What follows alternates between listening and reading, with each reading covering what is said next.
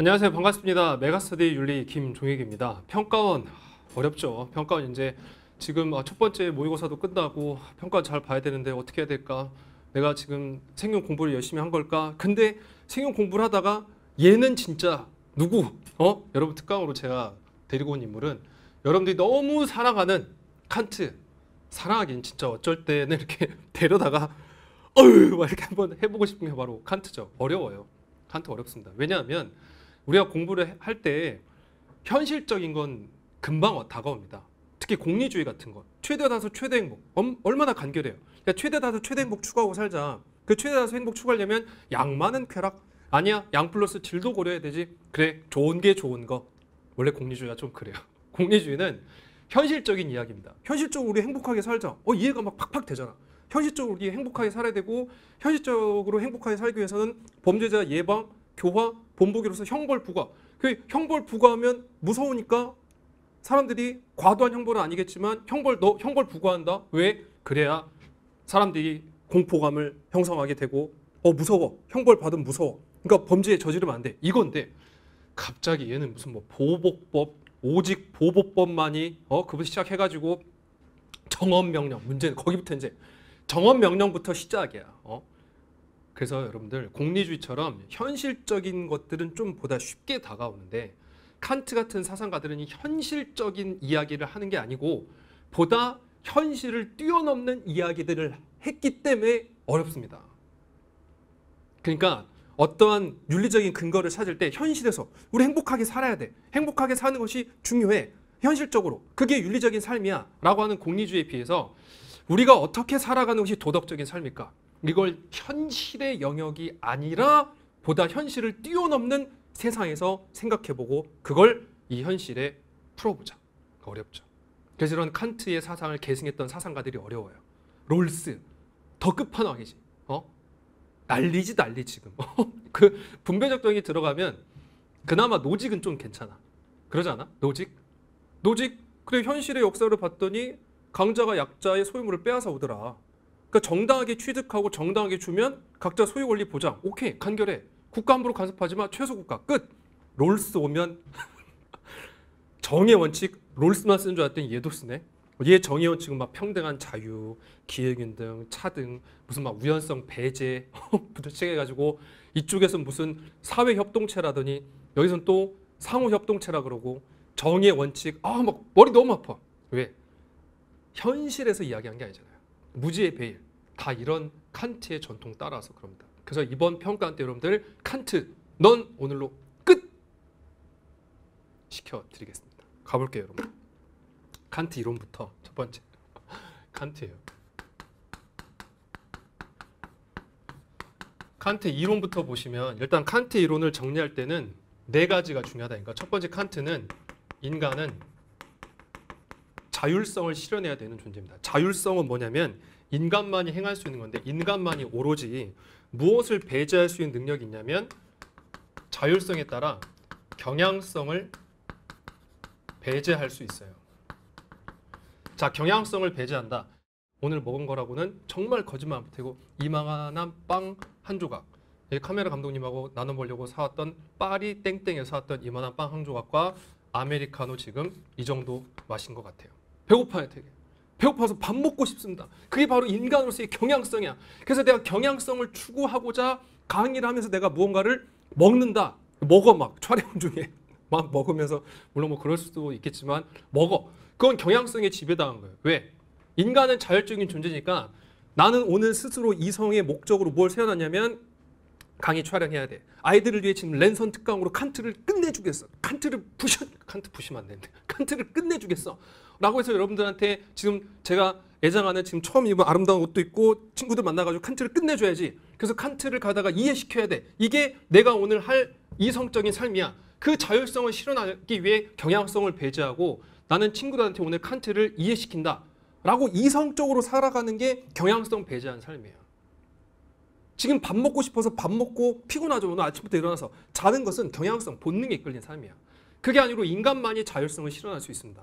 그래서 자율성을 실현해서 경향성을 배제할 때 인간은 무엇을 할 수 있냐면 도덕적인 행동을 할 수 있어요. 그래서 칸트한테 도덕적인 삶, 윤리적인 삶은 바로 무엇이냐면 경향성을 배제하고 자유를 실현하는 삶입니다. 자율.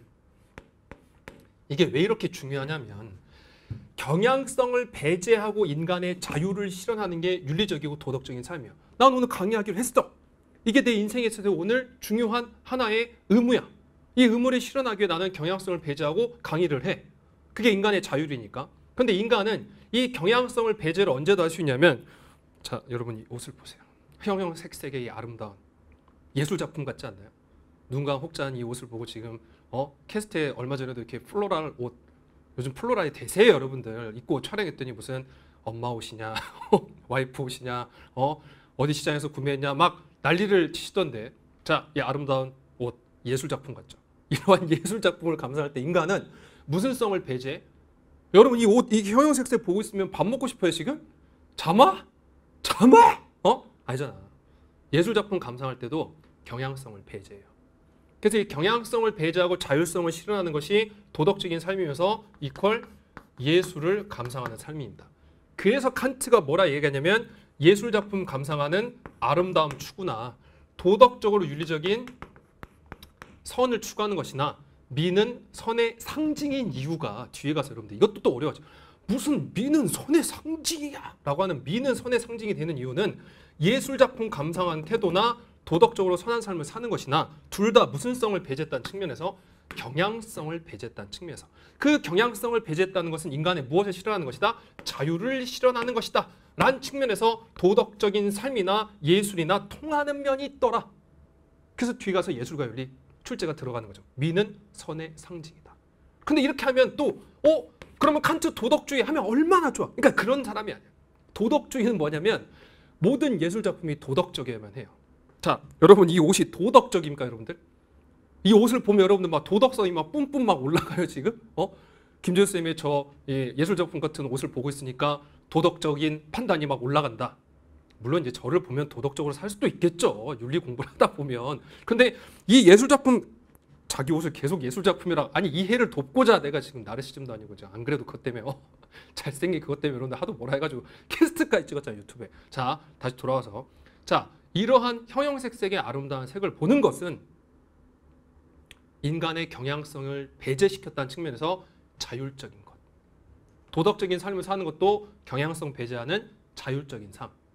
이란 측면에서 예술작품 감상의 태도나 도덕적인 행동이나 유사하다. 경향성을 배제시켰기 때문에 욕구에 지배받지 않았기 때문에 그런다 할지라도 모든 예술작품은 도덕적이어야 한다라고 주장하는 건 아니에요 칸트는 이런 예술작품 감상 태도가 도덕적인 행동과 유사하기 때문에 경향성을 배제시켰다고 얘기하는 거지 도덕주의는 모든 예술 작품이 인간의 도덕성에 기여해야 한다는 건데 이건 아니라고 그 출자기가 정말 좋아요 일단은 여기를 이해하셔야 돼요. 아, 도덕적 행동이나 예술 작품 감상의 태도나 경향성은 배제시켰구나. 욕구와 경향성. 그렇다면 욕구와 경향성을 배제하고 두 번째 무엇에 따라 살아야 되는가? 그게 인간의 실천 이성입니다. 실천 이성. 여기도 봐봐. 칸트는 현실에 근거하는 게 아니야. 무언가 이야기할 때.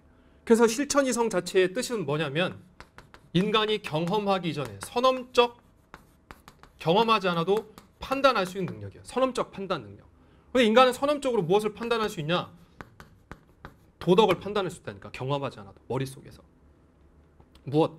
정직 정직이라는 거 딱 즉각적으로 판단 오잖아 선 살인 살인해 보지 않도록 살인은 악 이렇게 그래서 선언적 도덕 판단 능력이 인간의 실천 이성이라고요 이성적인 삶이 중요한 거죠 그 실천 이성에 따라 선언적 판단 능력을 중시하면서 경향성 배제하고 정직 선 아 그러면 실천 이성 명령에 따라 정직 추구하고 살아야 되겠구나.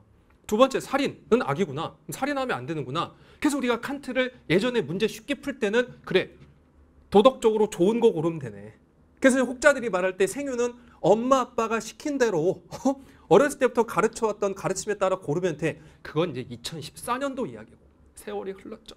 세월이 흐르고 칸트도 많이 어려워졌습니다. 그래서 칸트 널 끝 시키려고 지금 오는 거 아니에요. 선언적인 판단 능력에 따른 실천 이성에 따른 판단이 도덕적인 명령이 되기 위해서는 그게 세 번째 선언적 판단 능력에 따른 것을 무슨 명령에 비춰봐야 되냐면 정업 명령에 비춰봐야 돼요. 자, 정업 명령에 비춰봐야 하는데 정업 명령은 첫 번째 보편화 가능성이고 두 번째가 인격 존중이에요. 보편화 가능성은 뭐냐면 네가 실천 이성에 따라 판단한 것이 보편적으로 누구나 다 해도 되는지 생각해봐라. 그럼 정직한 행동 당연히 누구나 다 해야 되잖아. 보편적이 되잖아. 정직한 행동. 거짓은 보편이 안 되고. 두 번째, 다른 사람들한테 거짓말하는 것은 그 사람의 인격 무시하는 거죠. 내가 그 사람한테 정직하게 행동하는 게 그 사람 인격 존중하는 거잖아.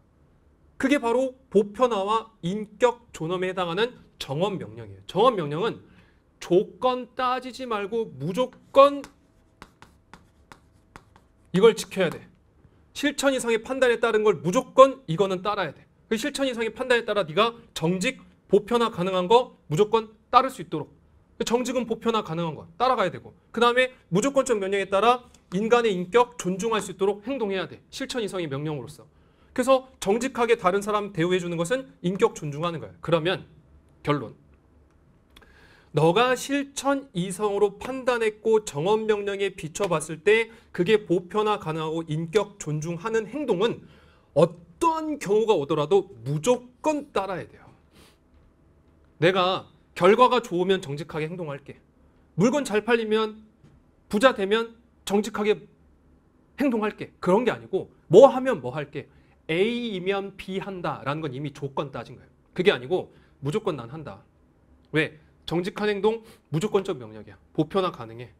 정직한 행동 무조건적인 명령이야. 왜? 인간의 인격 존중해. 나는 그래서 실천 이성의 판단에 따라 무조건적 명령에 해당하는 보편화 가능하고 인간의 인격 존중하는 사람들에게 정직하게 행동한다. 거짓말하지 않는다. 두 번째, 살인하지 않는다. 라는 것은 어떠한 경우가 오더라도 무조건 따라가겠다. 무조건적인 명령으로. 정원 명령이니까. 그럼 나는 이제 앞으로 어떤 상황이 오더라도 어떤 결과가 온다 할지라도 무조건 정직하고 절대 살인하지 않겠다라는 명령. 무슨 명령? 무조건적 명령. 무슨 이성에 따라? 실천 이성에 따라 이 무조건적인 명령을 실현하고자 하는 의지를 발휘해야 되니 그게 칸트의 네 번째 선의지라고요. 그래서 나는 앞으로 저런 정직한 행동과 살인하지 않겠다라는 것을 인간의 무엇으로 삼고 의무의식으로 삼고 절대적으로 저걸 따르고자 행동하겠다. 결과가 좋으면 하겠다가 아니잖아. 그러니까 결과를 고려하지 않고 오로지 옳다는 이유만으로 왜? 정언명령에 해당이 되니까.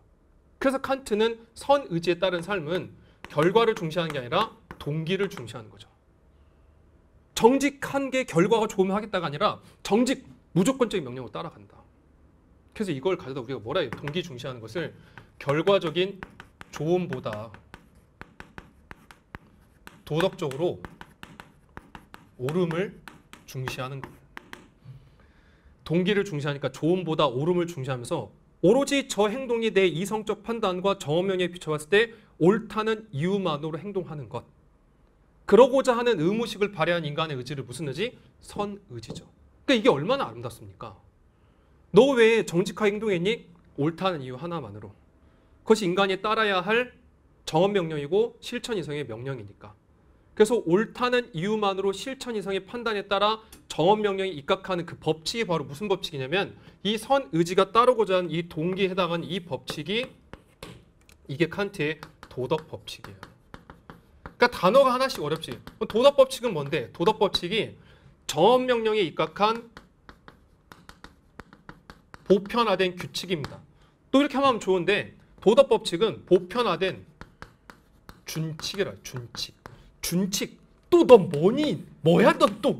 너 어디서 튀어나온 거야 뭐야? 수학이야 지금? 어? 준칙은 바로 뭐냐면 이거는 개인의 주관적 규칙이에요. 자 그럼 보세요. 내가 예를 들어서 거짓말 하려고 한다. 거짓말. 거짓말. 내가 거짓말 해야지. 자 실천이성 판단해봐요. 거짓말. 왠지 악 같죠? 악. 근데 거짓말 하고자 하는 게 개인의 주관적 규칙이야. 자 공식처럼 가보세요. 개인의 주관적 규칙이 뭐예요? 준칙이에요. 거짓말 하고자 하는 준칙은 보편화돼야 안 돼요? 누구나 거짓말하면 안 되니까 안 되지. 그러니까 거짓말하고자 하는 주관적 규칙은 보편화된 준칙이 될 수 없으니까 도덕 법칙이 안 돼. 그럼 거짓말하면 돼? 안 돼? 안 돼. 어떠한 경우가 오더라도. 자, 그럼 보세요. 정직. 내가 정직하게 어떠한 행동을 하려고 해. 그게 내 주관적 규칙이야. 정직하고자 하는 주관적 규칙. 주관적 규칙이 뭐라고? 준칙. 정직하고자 하는 주관적 규칙은 준칙은 보편화돼야 안 돼. 되지.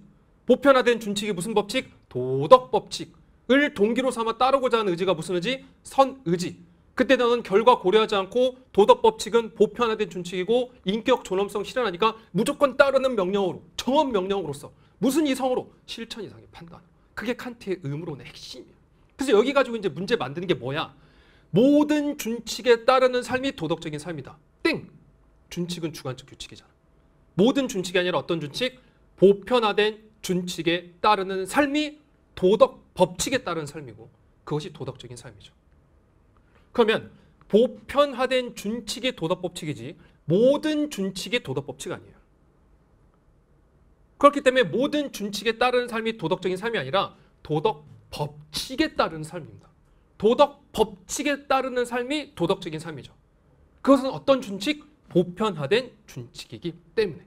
그러니까 칸트가 항상 난리 환장 나는 거지.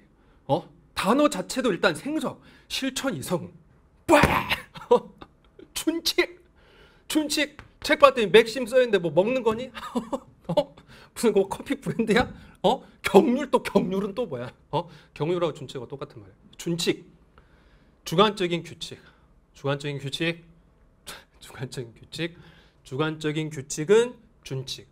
이 누구나 행할 수 있는 보편화된 준칙 되면 무슨 법칙? 도덕 법칙. 그래서 모든 준칙에 따르는 삶이 도덕적인 것이 아니라 보편화된 준칙에 따르는 삶이 도덕적인 삶. 그 보편화된 준칙이 도덕 법칙을 행위 동기로 삼아 오로지 옳다는 이유만으로 의무식 발휘하고자 하는 의지, 인간의 선의지. 에 따르는 것은 조건 좋으면 할게가 아니라 무조건적 명령에 따르는 정언 명령에 입각한 행동입니다. 자, 그럼 정리해 드리면 첫 번째 칸트는 현실의 어떤 경험이 아니라 인간의 이성, 실천 이성으로 내가 정직하게 행동할까? 정직하게 행동한다. 일단 주관적 행동 규칙이에요. 준칙. 정직하게 행동한다. 그 주관적 준칙이 보편화 가능한가? 따져봤어. 보편화 가능해. 보편화된 준칙 됐어. 정직. 두 번째 정직은 인간 인격도 존중해. 그러면 정직하고자 하는 한다는 내가 정직하게 행동을 하고자 한다는 주관적 규칙이 보편화된 준칙 무슨 법칙이 됐어? 도덕 법칙이 된 거죠. 그 도덕 법칙을 조건 따지지 않고 무조건 따르려는 정언 명령에 입각해서 인간의 의지 발휘하면 무슨 의지? 선의지예요. 그 얼마나 아름다워. 인간이 정직하게 살아 항상. 당신 왜 정직하게 삽니까? 정직해야만 하니까요. 좋으니까가 아니라 좋음보다 옳음. 좋은 게 좋은 거야. 정직하게 살면 어 정직하게 살면 내가 뭐 정직하게 물건 팔면 가게가 성공할 수도 있고 정직하게 살다 보면 결과적인 이익 올 수도 있고 결과 따지는 거잖아. 그게 아니고 오로지 옳다는 이유만으로 좋은 게 좋은 거야가 아니라 오로지 그 행동이 옳기 때문에 그래서 따르고자 하는 의지가 선의지라. 내 마음속에 빛나는 도덕 법칙 내가 경험하지 않아도 머릿속으로 만든 도덕 법칙 얼마나 아름다워. 그걸 따르고자 하는 인간의 선의지 얼마나 빛나 보여요. 그래서 이 세상에 그 자체로 선한 선의지에 따른 삶을 강조하는 게 칸트입니다. 그러니까 생각해 보면 그래 인간의 머리로 결론은 그거네 김주희 쌤. 내용은 어렵지만 머리로 판단했을 때 도덕적으로 옳은 거 해라. 근데 안에 구조 자체가 조금 단어가 어려운 거죠. 근데 이 사람이 생윤의 거의 끝판왕이야. 왜? 왜 그래요? 왜? 어떻게 보면 당연한 이야기인데 도덕적인 삶을 살아라 라고 하는데 당연한 이야기인데 안 하니까 어? 현대 사회 사람들은 좋은 삶을 살고 싶어요. 좋은 게 좋은 거. 거짓말해서도 결과 좋으면 좋은, 좋은 거. 도덕적으로 어, 약간 악한 행동하더라도 결과가 좋으면 좋은 거. 그게 아니라 오로지 옳다는 이유만으로 저렇게 행동하는 모습이 얼마나 아름답니? 어? 우리가 좀 저렇게 살아야 된다라는 거죠. 칸트 기 출 문제 보다 보면 여러분들 수업할 때 약간 좀 어이없는 상황이 하나 나오는데 기출 문제 2015년도 문제인데요. 뭐냐면 어, 이건 윤사도 똑같아요. 지금 칸트 끝판왕 이거 내는 건 생윤 윤사 다 똑같이 들으시면 돼요. 근데 A란 어떤 사람이 길을 지나가다가 다친 사람을 봤어. 다친 사람을 봤는데 나는 이렇게 바쁘니까 피하고 싶다라고 생각할지라도 오로지 저렇게 어려움에 처해 사람을 도와줘야 한다는 도덕 법칙이 입각해서 애들이 막 웃어. 이런 사람이 어디 있어요? 그러니까 그 사람이 이상한 게 아니야. 그렇게 사는 게 원래 옳은 삶이에요. 근데 나는 오로지 지금 바쁜 일 있지만 이 사람을 도와야겠다는 도덕 법칙에 입각해서. 근데 심지어 그 상황에서 뭐냐면 그 어려움에 처해 있는 사람이 어렸을 때 자기를 괴롭힌 사람이야. 그럼에도 불구하고 나는 오로지 어려움에 처했다는 그 사람을 도와야 된다는 도덕 법칙에 입각해서 도와줬어. 그때 그 친구가 이제 당신 내가 옛날에 당신 괴롭혔던 사람인데 어떻게 저렇게 도와줄 수 있습니까? 그럼 뭐라 답변해? 그 가상 상황에서? 어? 뭐라고? 샵 땡땡. 어? 도와줘야만 하니까. 샵 땡땡. 좋음보단 옳음 우선. 그게 그 사람 답변이니까 애들이 뭐 이런 사람이 어딨냐. 이런 사람이 어딨냐가 이상한 거지. 그렇게 살아야 맞죠 우리가. 그래서 칸트가 중요시 되는 거예요 자 정리. 칸트. 자율성 경향성 배제. 지금 밥 안 먹어요 저. 두 번째 실천 이성에 따라 판단 한 것을 정원 명령에 입각해서 보편화된 준칙, 인격 존중하는 준칙, 이러한 도덕 법칙을 무조건 따르고자 하는 정원 명령에 입각한 의지팔이 선의지에 따른 삶이 바로 칸트의 도덕적인 삶입니다. 그렇게 살다 보면 행복할 수도 있는 거지 행복을 추구하는 게 시작점이 아니에요. 공리주의자들처럼 도덕적으로 살다 보면 행복할 수도 있지. 근데 행복하게 살기 위해 시작점 자체가 행복이 인생의 목적이 아니라고 도덕적인 삶이 중요한 겁니다. 그래서 우리가 일반적으로 생각할 때 너무 도덕 중시하는데 그래서 약간 뜬구름처럼 느껴지는 거예요. 칸트 사상 자체가. 두 번째, 자 두 번째요 칸트. 여기서 여러분들 항상 헷갈리죠 이제 도덕적 가치 와 의무. 이거는 방금 했던 이야기 정리예요. 자 보세요. 여기 누가 있냐면 정직한 상인이 있어요. 상이 정직하게 물건을 팝니다. 그럼 정직하게 물건을 팔았으니까 이 사람 뭐하고 일치한 거냐면 정직해야 된다. 도덕적인 의무와 일치했어요. 정직하게 물건 팔았으니까. 근데 이 정직한 상인한테 물건을 왜 이렇게 정직하게 팔았습니까? 라고 물어봤더니 두 가지 두 명인데 A라는 정직한 상인과 B라는 정직한 상이 있었는데 A라는 상인한테 왜 물건을 정직하게 팔았습니까? 라고 물어보니까 정직하게 물건을 팔다 보면 이익이 되니까 그 경향성에 이끌려서 정직하게 물건 판매하면 사람들이 좋아하고 그러다 보면 저한테 이익이 되니까요. 이건 경향성에 따라 의무와 일치한 거예요. B라는 사람한테는 당신 정직하게 물건 팔았는데 왜 정직하게 물건 팔았어요? 그것이 오로지 도덕 법칙이기 때문에. 정직하게 물건 파는 것이 의무 의식이기 때문에 그것이 내가 따라야 할 마땅한 의무감이라 생각해서 선의지 입각해서 저는 물건을 정직하게 팔았습니다. 둘 다 정직하게 물건 판매한 의무와 일치했어요. 근데 칸트에 따르면 경향성과 이익에 이끌린 이제 이해되겠죠. 이 사람은 도덕적인 가치가 없어. 경향성에 이끌렸기 때문에 단순히 의무와 일치했을 뿐이에요. 도덕 법칙, 의무식, 의무감에 따라 선의지에 따라 정직하게 물건 판 이 사람이 도덕적 가치가 있는 삶입니다. 그런데 경향성 이익에 이끌려서 도덕적 가치가 없는 행동을 했지만 이 사람이 가게가 이렇게 돼서 행복하게 잘 살 수도 있어요. 그런데 사람들이 이 사람의 본심을 알았어. 저 사람 돈 벌려고 저렇게 사는 거래. 그러다 가게가 망할 수도 있어요. 근데 여기도 마찬가지예요. 선의지 입각해서 도덕적 가치 있는 삶을 살았는데 이 사람의 가게가 잘 될 수 있습니다. 저 사람은 얼굴만 봐도 얼굴 자체가 군자야 군자. 응? 얼굴만 봐더라도 막 도덕성이 뚝뚝 떨어져. 저 가게가 마음이 되게 편하네. 그, 그 사장님 만나가지고 사장님 왜 이렇게 물건을 정직하게 잘 파세요? 오로지 그것이 도덕이기 때문입니다. 요즘 같은 뭐 인스타에 올라오겠네 이렇게 도덕의 아이콘 상인 해가지고 막 어? 엄청난 또 도덕의 성지가 되겠지 막 칸트가 여기 실존한다 이런 식으로. 그래서 그, 그 가게가 잘 될 수도 있겠지만 이러다가 이 가게가 뭐 할 수도 있냐면 망할 수도 있어요. 이건 몰라 어떻게 될지. 응? 이건 외부 영향이니까. 그래서 정직한 상인이 의무와 일치는 하는데 경향성에 이끌려서 잘 될 수도 있고 안 될 수도 있고 그렇지만 이 사람 여전히 의무와 일치는 했지만 도덕적 가치는 없는 삶이고 도덕 법칙과 의무식과 의무감에 따라 선의지에 입각한 도덕적 가치가 있는 삶을 산 비상인은 이 사람도 행복할 수도 있고 행복하지 않을 수도 있어요. 도덕과 행복은 필연이 아니에요. 도덕적, 행복한 삶이 도덕적이다. 최대 다수 최대 행복을 살아가는 것이 도덕적이고 윤리적인 삶이다. 그건 공리주의자들이 하는 거고 칸트는 도덕과 행복이 꼭 필연적인 것은 아니다. 양립할 수는 있다. 도덕적인 삶을 살다 보면 행복할 수도 있으니까. 그래서 정리해 보면 의무와 일치한 행동은 경향성으로부터 나올 수도 있고 의무 의식으로부터 나올 수도 있어요. 근데 경향성에 입각해서 의무와 일치한 건 도덕적 가치 없어요. 두 번째, 의무 의식으로부터 출발해서 의무감으로부터 출발해서 의무와 일치한 행동, 선의지에 입각해서 의무와 일치한 행동, 도덕적 가치 있어요. 그런데 의무와 일치한 행동이 도덕적 가치가 있는 경우가 있고 없는 경우가 있지만 의무와 일치한 행동이 행복할 수도 있고 행복하지 않을 수도 있기 때문에 의무와 행복은 항상 일치하는 것도 아니고 도덕적 가치와 행복이 항상 일치하는 것도 아니고 양립, 도덕적 가치는 행동을 하다 보면 행복할 수도 있다. 의무와 일치한 행동을 하다 보면 행복할 수도 있다. 다만 이 행복이 인생의 목적이 아니라는 거죠. 도덕이 중요한 겁니다. 그러다 보니까 세 번째, 그러면 이걸 하나씩 적용시켜 보면 생명윤리 입각해서 자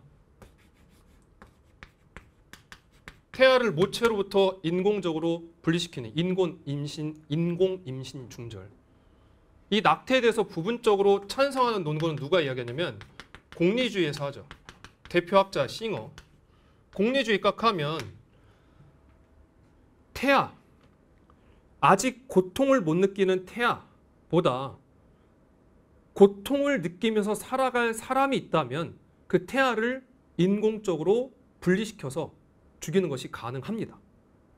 그 태아를 가다 인간으로 볼 수 있냐 없냐의 문제인데 칸트에 따르면 결과가 A이면 B 한다 안 되죠. 그래서 안 된다고 보는 거예요 절대 예외 없다. 두 번째 자살 자살 스스로 내 인생을 가져다가 마감시켜서 결과적인 어떠한 것을 누리고자 한다 절대 안 돼요 칸트. 칸트 자살 예외가 없어요. 조국의 영광을 위한 자결조차도 칸트는 절대 안 됩니다. 아, 야 조국의 영광이라는 무언가 실현이 된다면 이미 가언이에요 이게 조건 따져서 절대 안 돼요. 현대 의 학으로 더 넘어와 보면 그렇다면 안락사 육체적인 고통과 경제적인 고통으로부터 벗어나게 안락사를 하는 것 안 됩니다 당연히 그래서 적극적 안락사는 당연히 더 안 되죠 지금 인간을 가져다 수단심화하는 인체 실험을 행한다 안 되죠 왜 칸트는 인간을 수단시만 하면 안 돼요. 또 이것 때문에 헷갈리지. 수단시 할 수는 있어요. 수단시. 수단. 여러분 지금 저를 수단으로 이용하고 있잖아. 어? 김준수 쌤 칸트 끝내준대. 어, 들어와. 수단으로 이용했잖아요. 근데 수단시만 하는 게 아니라 여러분 저를 목적으로 또 존중하기 때문에 강의를 잘 들으면서 아, 저 사람 오늘 또 스튜디오에서 난리치고 계시구나. 어? 전 이 공간 살아가니까. 어? 저분 또 저렇게 강의하시나 또 힘드시겠네. 밥도 안 먹었다는데. 그렇게 생각하는 게 존중하는 거죠. 수단시만 하는 게 아니고. 근데 수단시만 하면서 저 옷이 뭐야? 어? 지금 뭐 장난하는 거야? 어? 뭐 형형색색 입고 뭐 하시는 거지? 뭐 이렇게 어? 밥도 안 먹고 사람이야? 이렇게 하는 거. 그 비난하면 안 되죠. 그건 수단시만 하는 겁니다. 근데 인체 신호할지 이런 낙태랄지 자살할지 이런 것은 인간 수단시만 하니까 이런 것들 다 안 된다고 봐서 이쪽 문제의 영역에서는 칸트가 출제가 잘 많이는 안 돼요. 쉽게 출제되든 되죠. 안 되니까. 공리주자들이 부분적으로 찬성하니까. 그래서 칸트 출제할 때는 앞에 이론 파트 어려우니까 칸트의 도덕적 가치와 행복. 그 다음에 두 번째 여러분들을 많이 괴롭히는 영역이 이제 어디에서 괴롭히냐면 3단원 형벌 가서 괴롭히는 거죠. 그럼 보세요. 조음보다는 오름이에요. 형벌을 부과하면 범죄자에게 형벌을 부과하면 좋아 범죄 예방되고 그러니까 좋으면 부과해 이건 아니잖아. 그래서 형벌을 통해 칸트는요 칸트예요 지금 어떠한 선 실현하는 게 아니에요. 형벌은 어떤 선이잖아 선 이게 조음이야. 형벌은 어떤 조음을 실현하기에 부과한다 아니고 형벌을 부과하는 것 자체가 무엇이냐면 옳음, 공적 정의를 실현하니까 옳음을 구현하니까. 형벌을 통해 정의를 실현하는 것은 뒤에 가면 모든 사상과 공통이야. 근데 형벌은 부과하면 선이 실현돼. 왜? 사회 구성원 생명이 보존되거든. 루소. 형벌을 부과하면 정의 실현하는데 그것은 선도 실현돼. 최대 다수 최대 행복. 베카리아 벤다. 형벌 부과하면 선 실현되니까 하는 게 아니라 오직 그것이 정의이기 때문에 부과한다. 그게 칸트예요. 그러니까 형벌 부과에 따라 어떤 결과 고려하는 게 아니지. 그러니까 아까부터 계속 봐봐. 이론 시작부터 좋으면 하겠다가 아니야. 무조건 이거 해라. 아니 결과는 결과 고려하지 마. 결과는 좋을 수도 있고 나쁠 수도 있는데 그건 몰라. 우린 몰라. 일단 도덕적인 가치, 도덕 법칙에 따른 정언 명령에 따라 발휘하고 살아. 그게 인간이야. 사회도 마찬가지야. 어떤 좋음을 실현하고자 결과적인 좋음을 실현하고자 형벌 부과하는 거 아니야. 오직 정의 실현이야. 그래서 칸트 출제할 때 뭐라 그래? 형벌 부과하는 것은 오직 무슨 명령으로 결과 따지는 것이 아니라 정언 명령에 입각해서 그 정언 명령에 입각해서 부과할 때 오직 형벌의 양형, 양형은 올해 수특에 나와서 여러분들 질문 많은데 양과 정도예요. 형벌의 양과 정도를 정할 때는 오직 보복법에 따른 오직 보복법에 따른 형벌은 정언 명령으로 부과하는 거예요. 정언명에 입각해서 어떻게 부과하는 거야? 너가 범죄를 저질렀기 때문에 그 이유 하나만으로. 다른 거 없다. 너가 범죄를 저질렀어? 그 다음 범죄를 저질렀다는 그 이유 하나만으로 너한테 우리는 형벌 부과하는 거예요. 보복법에 입각해서. 아니 내가 범죄를 저질렀다는 그 이유 하나만으로 왜 근데 나한테 부과하는데 너는 보복을 원하는 게 아니라 보복 받을 즉 처벌 받을 행위를 의혹했어. 누가? 범죄자가. 이거 가지고 이제 말장난하는 거야. 처벌받을 행위를 의혹했어. 처벌받을 행위를 의혹했지 처벌을 의혹한 게 아니야. 처벌받을 행위로서 무엇을 더 의혹했냐면 범죄 행위, 범행을 의혹한 거야. 의도하고 원했다. 너는 처벌받을 행위로서 범행을 의도하고 원했기 때문에 범죄자로서 보복받아야 돼. 근데 너 잘 생각해봐. 칸트는 인간의 인격 되게 존중한다. 인간 인격 되게 존중하는데 너가 범죄를 저질러서 처벌받을 행위를 원하고 범죄자가 되었어. 그래서 범죄자가 처벌받을 행위를 하고 감옥에 들어가 있어. 심지어 살인자. 살인자는 사형을 의도한 게 아니야. 사형 받을 행위로서 살인이라는 범행을 의도하고 원한 거야. 그러면 너는 사형받을 행위를 의도하고 원했어. 범죄자가 스스로 자신의 무엇으로 자유 의지로 너가 자유 의지를 가지고 지금 범행을 의도하고 원해서 실현했잖아. 사람 죽였잖아. 그리고 감옥에 있어. 감옥에 있으면 너는 지금 무슨 죄책감에 사로잡혀 있냐면 나는 사형받을 행위를 의도하고 원했어. 그래서 감옥에 있어. 감옥에 있어. 나는 사형받을 행위를 의도하고 원했어. 근데 왜 안 죽여주는 거지? 어? 하루, 이틀, 삼일 사일 오일 나는 사형받을 행위를 했는데 나는 사형을 의도한 건 아니지만 사형받을 행위로서 살인을 의도하고 원해서 행동했어. 근데 왜 나를 안 죽여주는 거야? 막 죄책감이 막 사로잡혀 있어요. 어?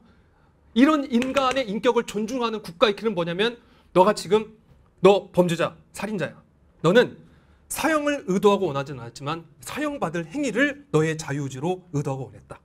그렇기 때문에 우리 국가가 너가 죄책감에 사로잡혀서 하루 이틀 삼일 사일 고통 가득스러운 삶을 사는 것이 아니라 너를 죄책감부터 해방시켜 주면서 너의 인격을 우리는 존중해 줄게. 그러니까 죽어.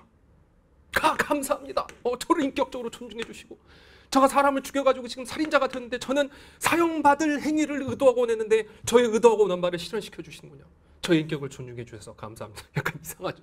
그러니까 이게 현실적으로 안 맞잖아. 현실적으로 우리가 살아가는 사회에서는 이런 건 이야기가 안 되는데 머릿속에서 응? 머릿속에서 이야기하는 거죠. 그러니까 베카리아 같은 애들이 훨씬 더 현실적이지. 아니 국가 계약 맺을 때 국가가 나 죽일 거 동의할 사람 누가 있냐? 현실적. 얼마나 현실적이야. 깔끔하지 그냥 딱. 형벌 부과할 때는 야 사람 죽는 거 그거 알 수 없는 고통이잖아. 알고 있는 고통 현실적으로 너 평생 집 날라? 어? 너 국가가 죽인다? 죽여봐. 뭐 이거잖아. 어? 너 평생 집 날라. 어, 언제까지? 죽을 때까지. 짐승처럼 집 날라. 어, 무섭잖아. 그러니까 사형보다 훨씬 더 효과적이다. 깔끔하죠, 베카리아. 아니 알 수 없는 고통보다 알고 있는 고통이 힘들다니까 여러분들. 이것도 이해 잘 못 하시던데 공리주자들. 알 수 없는 고통. 제가 강의 때한번 했는데 현역분들 수능 시험장 들어가는 거 알 수 없는 고통이야. 그냥 가. 그래서 이 강의를 많이 듣고 있는 N수생분들 아, 마음 아프죠. 현역분들도 물론 마음 아픈데 N수생분들 알고 있는 고통이 해봤어 지금. 해본 고통 또 들어가. 그 고통 또 와봐. 안 돼요 지금. 이, 이런 건 현실적인 거야. 근데 그게 아니라 범죄자한테 돌아보면 형벌을 통해 어떤 조음 실현하는 거 아니야. 근데 왜 부과해? 국가가 정의 실현. 이 뭔데? 무조건적 명령으로 보복법 실현하는 거. 보복은 왜 가야 돼? 음, 범죄자가 처벌받을 행위를 의도하고 원했거든. 스스로의 자유의지로. 그 처벌받을 행위를 의도하고 원했으니까 이 자유의지를 실현시켜 주는 거야. 너 보복받을 행동을 원했잖아. 보복시켜 줄게. 감사합니다. 이렇게 되는 거라고. 그래서 범죄자의 무엇을 존중하는 거냐면 나면서부터 가지고 있는 너 인간이니까 생득적인 인격을 그래서 존중한다 그거예요. 그래서 결국 형벌을 부과함으로써 어떤 조음 실현하는 게 아니라 형벌은 그 자체로 오라. 왜? 범죄자 인격도 존중하고 보복법을 실현했기 때문에. 그래서 결과적인 조음으로서 형벌을 부과하는 게 아니다 그 뜻이죠. 그래서 오직 보복법만이 정의 실현을 할 수 있는 겁니다. 형벌에 따른 조음 실현이 아니기 때문에. 그래서 이 정도로 어떠한 도덕적인 삶, 도덕성에 기여하는 삶, 인격을 존중하는 삶을 살아야 되는데 5번 자연과 윤리. 그럼 칸트에 따르면 인간은 저러한 도덕성과 인격성 실현하고 살아야 돼. 근데 이 도덕성과 인격성에 좋은 도움을 줄 수 있는 자연적인 자연적 소질을 너는 가지고 태어나요. 그 자연적 소질이 바로 뭐냐면 공감 능력입니다. 다른 것들에 공감할 수 있는 능력. 그래서 자연적 소질에 따르는 공감 능력을 잘 개발하는 사람이 사회성도 좋고 보다 도덕적으로 인격적인 삶을 살 수 있다가 칸트예요. 생각해봐요. 도덕적으로 잘 사는 사람은 사람들과 교감을 잘 할까 안 할까? 하겠지. 칸트가 이야기했던 칸트가 이야기한 인간 한번 그려봐 이렇게 현실에 존재하지 않는 것 같은 인간이지만 그려봐요. 정말 도덕적으로 잘 사는 사람, 물건도 정직하게 판매하고 범죄도 저지르지 않고 오로지 도덕 법칙에 입각해서 도덕적으로 살아가는 사람. 여러분이 생각할 때 약간 이상하게 보일 수 있겠지만 칸트에 따르면 보다 사람들과 공감 능력 발휘하고 마음 따뜻한 사람일수록 그런 행동 더 잘할 거야. 그렇지 않겠어요? 여러분이 생각하는 칸트가 생각했던 이상적 인간이 막 집안에 혼자 틀어박혀가지고 반사회적인 생각을 가지면서 혼자 도덕적인 삶을 살아가는 거 그건 불가능하고 칸트에 따르면 보다 사회적인 사람으로서 공감 능력 발휘하고 봐봐 집에 이렇게 강아지도 잘쓰 다듬어 주고 고양이도 예뻐하면서 꽃도 잘 가꾸는 사람이 도덕법칙 더 잘 실현하지 않겠어? 그게 아니고 막 집안에 막 강아지 막 때리고 꽃 함부로 맨날 꺾고 이런 사람이 도덕법칙 실현한다? 그래서 칸트가 말하죠. 자연적 소질에 해당하는 공감 능력을 잘 탁월하게 발휘한 사람이 도덕성과 인격성 실현을 잘한다. 그럼 이 자연적 소질과 공감 능력에 악 영향을 주는 게 뭐겠냐? 나쁜 영향 주는 거. 그게 자연을 가다가 생태계를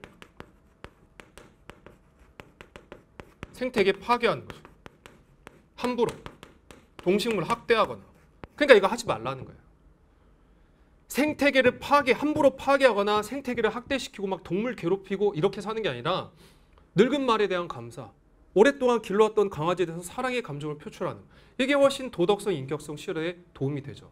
도덕성, 인격성 실현하고 살아가는 것이 인간에게 인간이 행해야 될 직접적 의무예요.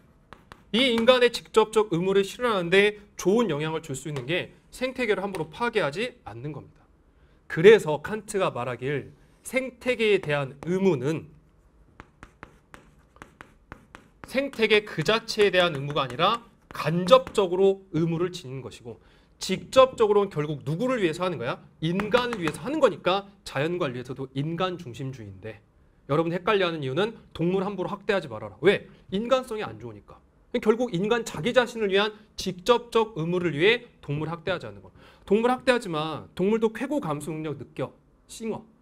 동물 학대하지 마. 동물 삶의 주체야. 그러니까 직접적으로 존중받을 이유가 있어. 그게 직접적 의무예요. 칸트한테는 무생물까지도 직접적으로 존중받을 이유는 없어요. 간접적으로 의무는 있어. 누구를 위해? 인간을 위해. 직접적 존중의 대상은 인간만이니까.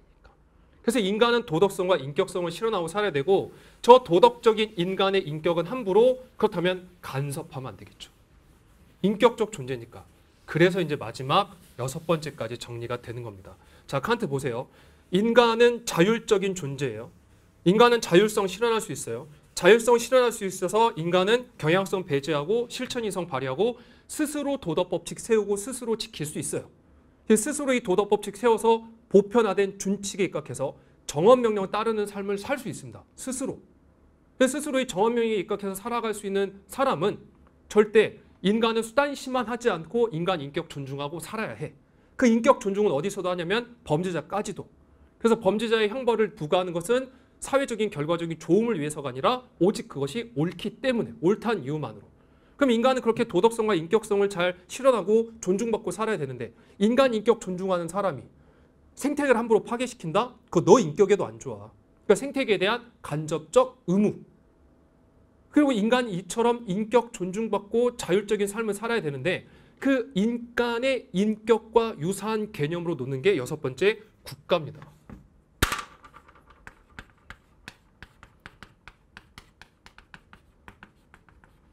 국가는 인격체라고 보면 돼요. 이게 맞으면 그럼 국가 보세요. 국가 자 인격체 함부로 간섭하면 돼 안 돼? 안 돼. 그러니까 국가도 함부로 그래서 간섭하면 안 돼. 그럼 국가 간섭하지 않고 어떻게 평화를 실현할래? 칸트의 영구 평화론 마지막. 전 세계 전쟁이 사라진 영구 평화는 어떻게 실현할 거야? 영구 평화 실현하기 위해서는 A, B, C 국가가 각각 국가의 권력은 공동의 것으로 생각하는 공화정 유지해라. 왜? 절대 군주제면 군주가 전쟁하자 하면 전쟁이 일어나 버려. 그게 아니라 공화정에서는 군주가 아무리 전쟁하자고 하더라도 국가 권력이 나눠져 있으니까 하자 말자 싸우다가 전쟁 잘 안 일어나. 그래서 전 세계 모든 시민적 정치 체제는 공화정 유지하고 A, B, C가 중요해요. 국제 연맹을 만드는데 국가의 자유 인정한 자유로운 국제 연맹 국제 기구예요. 함부로 간섭하는 게 아니라 야 너 간섭해. 너 간섭하고 너는 너 BA 간섭해서 A 국제연맹 가입시켜 이런 거 아니에요. 그래서 예비 조항에 내정 불간섭 원칙에 예외가 없어요. 함부로 간섭하면 안 돼, 국가에. 국가가 자발적으로 자유롭게 모인 국제 연맹에 따른 무슨 법이냐면 이게 세계 시민법이에요. 인간 인격 함부로 간섭하면 안 되는데 아니 범죄자 인격도 존중하는 마당에 국가를 함부로 간섭한다? 안 돼요. 자발적으로 자유로운 국가가 공화정 상태에서 개별 국가의 주권은 국가가 소유하고 국제 연맹 만드는 거예요. 그러니까 어떤 전 세계 하나로 통일하는 거 말이 안 돼요. 국가 간섭하는 거니까. 그래서 국제 연맹에서 우리가 서로 서로 세계 관계가 우호적 관계로 될 수 있도록 법을 스스로 자신들끼리 마련하고 지키자. 그래서 세계 시민법은 각국의 우호 관계를 증진하는데 국한시키라는 건 간섭하지 말라 그 뜻이 그것도 국가도 인격체니까.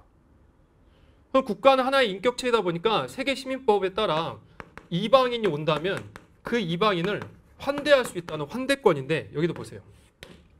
이방인은 다른 나라 사람이 우리나라 왔어. 시민은 아니야 그 사람이. 우리나라 시민 아니지. 우리나라 왔다 해서 우리나라 시민 아니잖아. 그런데 그 사람도 나면서부터 아까 범죄자도 가지고 있는 생득적인 인격을 소유하고 있어요. 이거 존중하라는 거지.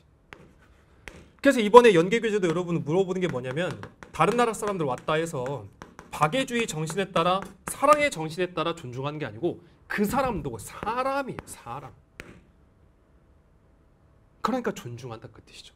그러니까 시작부터 끝이 똑같죠. 시작할 때 인간 자율적 존재. 스스로 법칙 세우고 산다. 간섭하지 마. 범죄자도 간섭하지 마. 그 인격 존중하는 사람 자연 함부로 훼손시키지 마. 너의 인격을 위해. 그리고 마지막 국가도 인격체인데 함부로 간섭하지 말아라.